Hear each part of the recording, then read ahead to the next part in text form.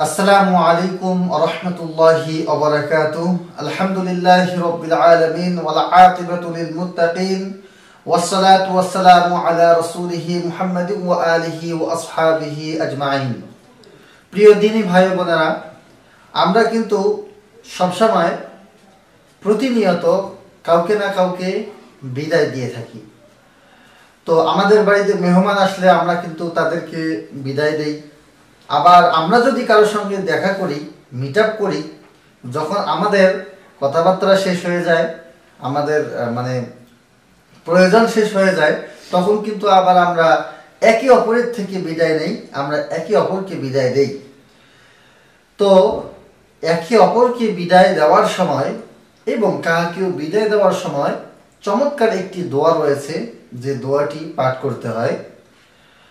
তো এই দোয়াটি হজরত বেলায়েত সাহেব রহমতুল্লাহ আলাই তার কিতাবে উল্লেখ করেছেন, বন্ধুরা, আমরা কিন্তু চাই যে আমাদের প্রত্যেকটা কাজের মধ্যে যেন আল্লাহ তালা রহমত দান করেন, বরকত দান করেন এবং আমরা যখন কাউকে বিদায় দেই, সে যেন সহি সালামতে, নিরাপদে তার গন্তব্যে পৌঁছায়।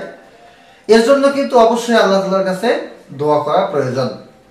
তো আমরা যদি এই দোয়াটি পাঠ করি কাউকে বিদায় দেওয়ার সময় তাহলে কিন্তু এই জিনিসটি হয়ে যাবে। তার জন্য দোয়া করা হয়ে যাবে।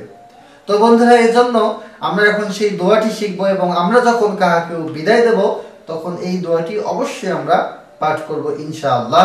আল্লাহ পাক রব্বুল আলামিন আমাদের সকলকেই এই দোয়াটি কাহাকেও বিদায় দেওয়ার সময় পাঠ করার তৌফিক দান করুন, আমিন। বন্ধুরা, দোয়াটি হলো, আস্তাউদিউল্লাহ দীনাকা ওয়া আমানাতাকা আমালিক। এই দোয়াটি আমি আবারও বলছি এবং বাংলায় লিখে দেওয়া আছে, আপনারা দেখে দেখে মুখস্থ করে দিবেন আস্তাউদিউল্লাহ দীনাকা ওয়া আমানাতাকা ওয়া খাওয়াতিমা আমালিক। বন্ধুরা, এই হলো দোয়া। এই দোয়াটি অবশ্যই আপনারা মুখস্থ করে রাখবেন এবং কাহাকেও বিদায় দেওয়ার সময় এই দোয়াটি পাঠ করবেন। আল্লাহ পাক রব্বুল আলামিন আমাদের সকলকে আমল করার তৌফিক দান করুন আল্লাহুম্মা আমিন আল্লাহ চাহে তো দেখা হবে পরবর্তী ভিডিওতে ততক্ষণ পর্যন্ত আল্লাহ তাআলা আপনাকে আমাকে আমাদের সকলকে সহি সালামতে রাখুন ভালো রাখুন সুস্থ রাখুন আসসালামু আলাইকুম ওয়া রাহমাতুল্লাহি ওয়া বারাকাতুহু مولاي صل وسلم دائما ابدا على حبيبك خير الخلق كلهم